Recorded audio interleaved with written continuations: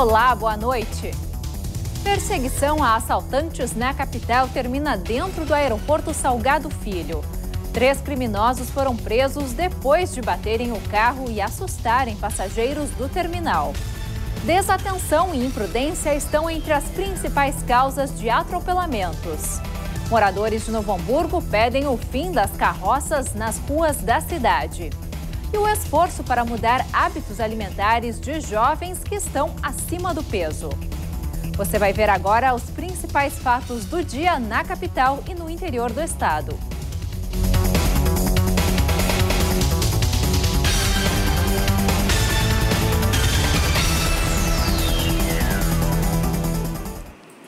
Perseguição a carro roubado termina dentro do aeroporto Salgado Filho. Três homens que estavam no veículo tentaram fugir invadindo o estacionamento e também o prédio principal do aeroporto. Com eles foram encontradas armas e munição e a confusão aconteceu no final da manhã, com o aeroporto lotado. A ação assustou os passageiros e funcionários do aeroporto. Os dois carros da polícia e dos bandidos pararam próximos ao estacionamento. Bem na hora que eu estava tirando, tirando os carrinhos aqui, eu vi aqueles tiros ali, né? Eu, eu me, me abaixaram porque... O senhor ouviu disparos? Sim, vindo dois. Eu vi eles passar na contramão ali e a polícia atrás. Aí deu isso aí. Um fugiu aí para dentro. O carro em fuga bateu neste outro veículo que desembarcava passageiros. De repente chegou eles correndo aí, né? A polícia atrás e ele barrou no meu carro aqui, ó. Aí já saiu correndo daqui, do meu lado. As imagens exclusivas do cinegrafista Rogério Andrade mostram o momento da prisão. O primeiro homem sai do carro e é rendido. Outro policial rende o segundo criminoso. Um terceiro fugiu para dentro do aeroporto e também foi capturado pelos policiais rodoviários federais momentos depois. É, correndo de nós a pé, a gente conseguiu pegar os três, os três indivíduos aí que estavam armados aí. A perseguição começou quando os agentes da Polícia Rodoviária Federal identificaram que o carro onde estavam os três homens é roubado. Aqui dentro foram encontradas duas armas. Um dos armamentos apreendidos é este revólver calibre 38. O carro foi roubado na sexta-feira passada. Os três presos foram encaminhados para a delegacia de Polícia Civil. As exportações do agronegócio gaúcho cresceram 28% em abril na comparação com março e atingiram 825 milhões de dólares. Já em relação ao mesmo período do ano passado, o valor recuou 25%. Segundo a Farsul, a queda foi puxada principalmente pela retração de 38% nas vendas do complexo soja. O bom desempenho do ano passado, que elevou a base de comparação, e o atraso na entrada da safra desse ano foram os responsáveis pelos números negativos nas exportações do grão. Mesmo com as frequentes medidas de segurança tomadas pelos bancos, os golpes financeiros ainda acontecem. A clonagem de cartões é um dos crimes com maior registro de ocorrência na polícia. Mas alguns procedimentos são importantes para evitar grandes perdas. Quem nunca teve problemas com cartão de crédito, seja por furto ou clonagem, imagina que atitude tomar. Não fazer nada diretamente e ir ao banco, nem via ligação telefônica. Imediatamente entrei em contato com o meu banco. Essa seria a minha primeira reação, sempre. Pois é, mas até ao ligar para o banco pode haver problemas. Em São Paulo, uma quadrilha tem um novo golpe. Liga para os clientes, diz que houve clonagem e pede para entregar o cartão para um motoboy. Quando o cliente liga para o banco, os bandidos interceptam a ligação. O golpe ainda não foi registrado no Rio Grande do Sul. Aqui, a fraude financeira mais comum é o chupa-cabras, dispositivo instalado nos caixas eletrônicos. O cartão fica preso, fica retido dentro do, do, daquela, do boca do caixa e, e tem um, um, telefone colocado pelos próprios estelionatários em cima daquela boca do caixa. A pessoa telefona para aquele número e lá no, a, o interlocutor avisa: vamos experimentar se eu consigo tirar por aqui pelo banco. Aí ele passa, me passa a tua conta bancária, ele passa. Agora me dá a tua senha. Aí ele faz, ele diz que está fazendo as manobras por lá, não consegue. Agora nós não conseguimos. Não saiu? Não, não saiu. Então deixa o cartão aí, passe no dia seguinte na, na, na na, na, na agência bancária que senhor vai receber esse seu cartão e nós vamos ver o que a gente pode fazer. A Federação Brasileira de Bancos orienta os clientes que nunca informem dados pessoais e senhas em sites que não sejam os dos bancos e a não passar informações por telefone. A Delegacia de Polícia de Pronto Atendimento pede que, em caso de suspeita de golpe, a pessoa ligue para o gerente ou vá até o banco pessoalmente.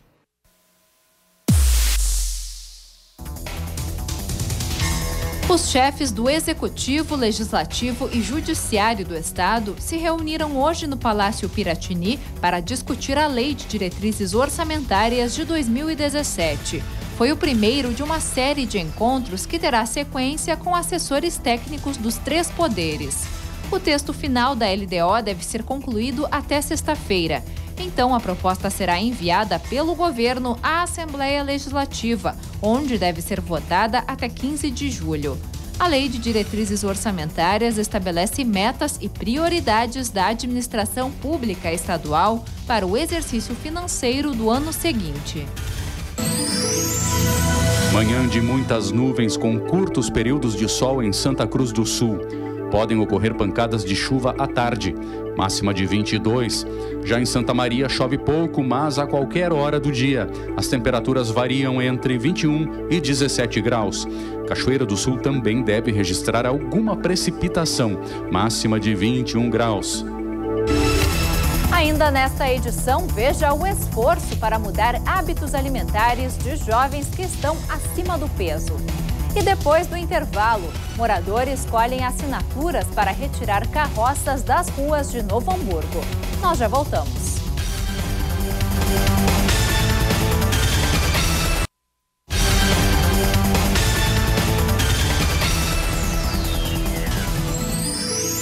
A terça-feira amanhece com sol entre nuvens em Porto Alegre, mas chove à tarde. Mínima de 18 e máxima de 23. Previsão é a mesma para Novo Hamburgo. Os termômetros variam entre 17 e 22 graus. Já Tramandaí tem muitas nuvens e chuvas isoladas ao longo do dia. Máxima de 21.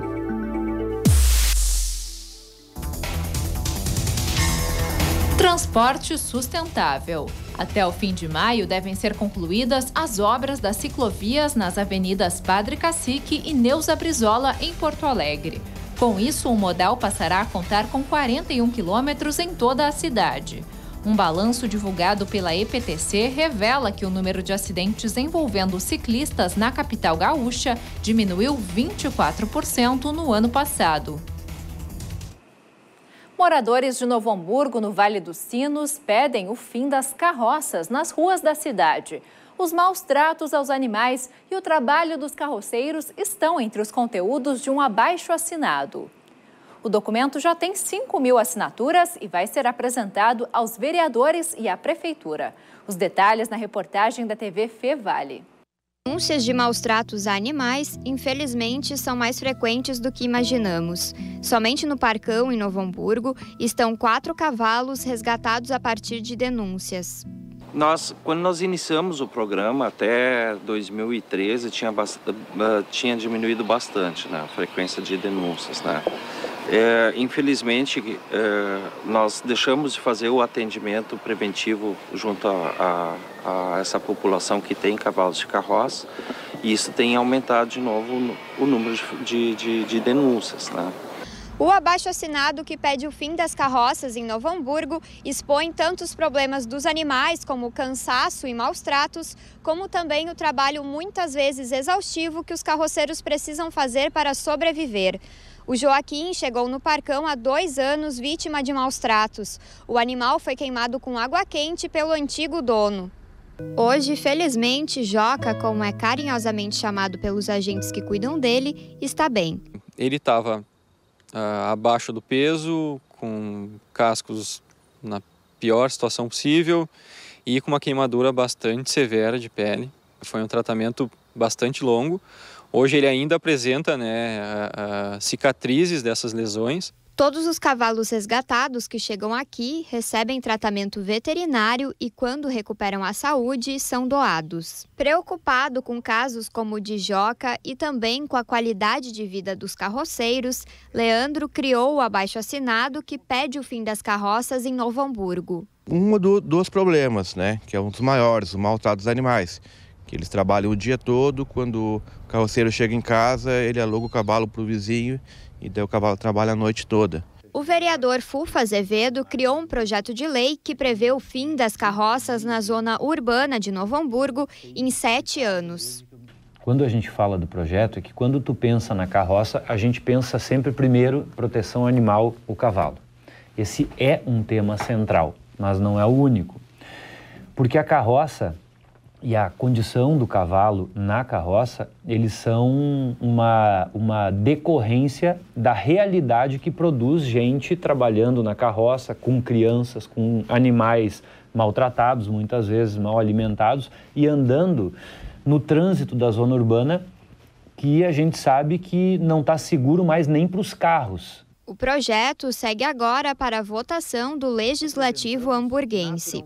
Enquanto isso, as assinaturas do abaixo-assinado continuam sendo colhidas. A intenção de Leandro é levar o documento até a Câmara de Vereadores no dia em que o projeto estiver em votação. Agentes da Vigilância em Saúde da capital trabalham no combate ao mosquito Aedes aegypti. Hoje, uma ação mobilizou moradores da zona norte da capital. Dois casos autóctones de Zika foram confirmados em uma região próxima à Ponte do Guaíba. Os dois pacientes moram na mesma residência na Vila Tio Zeca, no bairro Farrapo, zona norte de Porto Alegre. A partir da localização, em um raio de 500 metros, a Vigilância em Saúde traçou um mapa e identificou pontos estratégicos para instalar 12 armadilhas de monitoramento do Aedes aegypti. Hoje pela manhã, a equipe começou o trabalho de convencimento dos moradores para abrirem as residências. Seu Carlos não pensou duas vezes. É para o bem nosso, é para o bem da comunidade, é para o bem do bairro. E uma coisa assim que cada um que colaborar é uma ajuda para nós todos, né? Assim como o nosso vizinho ali da frente também vai colaborar com tem um lugar ali que age com certeza que tem, né? A armadilha contém uma fita adesiva onde o mosquito adulto fica preso, além de água, e também é usado um atrativo químico. Uma vez por semana, o agente vai verificar o local ou todas as segundas ou todas as terças, um dia da semana certo ele vai vir, vai abrir a armadilha, vai fazer a coleta, segunda, né? tá, vai fazer a coleta do mosquito adulto. Até agora não foi registrada a circulação viral nos mosquitos capturados em Porto Alegre. Por isso, a estratégia será importante para as medidas de controle. Uma coisa é fazer o controle larvário, que é essa ida de casa em casa, eliminação de focos, né? Mas a armadilha permite que a gente faça o controle da fêmea adulta. Então, bom, desta forma nós vamos capturar estas fêmeas, saber se elas têm circulação viral, qual é o vírus que há nessa fêmea e também poder fazer as ações de bloqueio, aplicação de inseticida, busca ativa. Quem precisou embarcar no aeroporto Salgado Filho hoje teve problema com uma operação padrão. Os funcionários terceirizados que operam o raio-x reclamam que estão com o salário de abril atrasado. 18 voos de partida atrasaram e três foram cancelados. Cerca de 250 aeroviários aderiram à operação padrão que iniciou no final de semana. Eles são funcionários de uma empresa terceirizada contratada pela Infraero e atuam nos setores de segurança e raio-x. A ação resultou em longas filas no setor de embarque no final da manhã. Essa fila aí quilométrica, não tem o que fazer. A única informação que deu foi segurança ali, que a, o pessoal do raio-x está parado. Eles reclamam que a empresa não pagou o salário de abril e vem atrasando e parcelando os vales alimentação e transporte, além de não ter cumprido o dissídio que deveria ter sido pago desde dezembro. Tudo atrasado. O pessoal pagou, era para ter pago integral, vale alimentação, em dia 20 do mês passado, enfim, pagou 120 reais. Então, tem famílias que não tem nem como se manter. Após reunião com o superintendente da Infraero, os aeroviários decidiram não paralisar as atividades. Eles vão assumir suas funções apenas duas horas depois de bater o ponto de início do expediente. Mas os funcionários não descartam novas paralisações caso a situação não se resolva. Vai parar, não vai ter acesso à sala de embarque. Não tendo acesso à sala de embarque, não tem acesso à área restrita. E aí, assim funciona automaticamente, não tem passageiro dentro de avião. Até agora, a Infraero não se posicionou. O que, é que nós estamos fazendo hoje no Brasil inteiro? Aliás, o movimento iniciou em Porto Alegre, tá, é, a operação padrão é no Brasil inteiro, 22 aeroportos, e a partir de Porto Alegre, ou se traz uma solução, ou vai separar os aeroportos do Brasil inteiro. Não, não tem condições de trabalhar sem salário. A Infraero garante que repassou o valor dos salários para a empresa terceirizada e está analisando as medidas administrativas que podem ser adotadas. Além disso, um plano de contingência foi acionado para garantir o atendimento dos passageiros e evitar atrasos.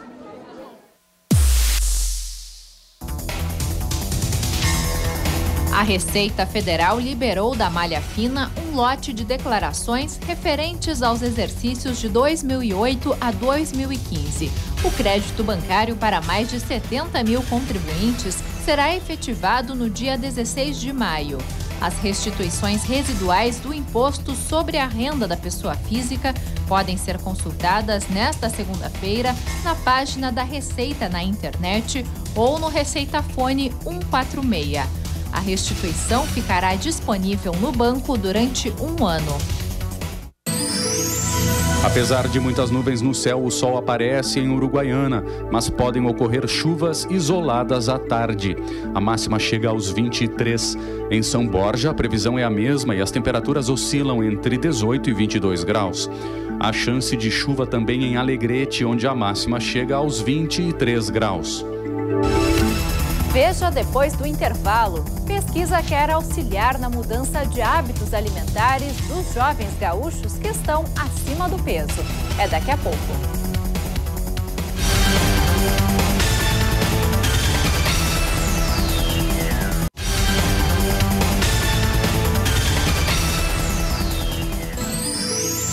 Muitas nuvens e chuvas isoladas a qualquer hora do dia em Bagé. As temperaturas variam entre 15 e 22 graus. O volume de precipitação deve ser pequeno em Pelotas, onde os termômetros marcam até 22 graus. Nebulosidade em alta e chuva pontual também em Rio Grande. Mínima de 15 e máxima de 21.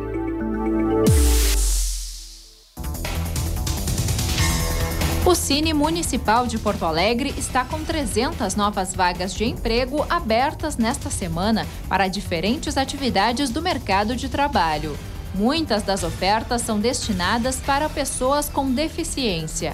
Interessados devem comparecer entre as 8 da manhã e as 5 da tarde nas unidades do Cine do Extremo Sul, Zona Norte e Centro Histórico. Os candidatos devem apresentar carteira de identidade, carteira de trabalho e comprovante de endereço. O aumento do desemprego afeta todos os setores, até mesmo da construção civil, que antes sofria com a falta de mão de obra qualificada. E com este cenário, a saída tanto para quem perdeu o emprego quanto para quem quer ingressar na profissão está sendo a busca da capacitação em cursos técnicos. Arábia Saudita e também em alguns estados brasileiros. Números da FAO, a Organização das Nações Unidas para a Alimentação e Agricultura, mostram que um terço da comida produzida no mundo vai para o lixo ao mesmo tempo que 800 milhões de pessoas passam fome. Tem gente precisando de comida e procurando em lugares péssimos, e tem gente com comida sobrando. Foi a, a primeira faísca que acendeu uh, essa ideia. Essa é a terceira geladeira com alimentos para a população de rua instalada no bairro Bonfim. A primeira foi roubada. Da segunda, levaram apenas o motor. Agora, os proprietários desse estacionamento instalaram o equipamento de forma segura. No momento de nossa reportagem, a geladeira estava vazia, mas isso não é ruim necessariamente. Ontem mesmo, quando a gente passou aqui, estava com alguns iogurtes, banana, tinha bastante comida e o pessoal comprou a ideia quem quiser doar geladeiras ou alimentos pode entrar em contato na página smileflame.com ou enviar um e-mail para contato@smileflame.com. A ideia é espalhar geladeiras em outros pontos da cidade. Inverno chegando e aquela vontade de comer alimentos mais calóricos também.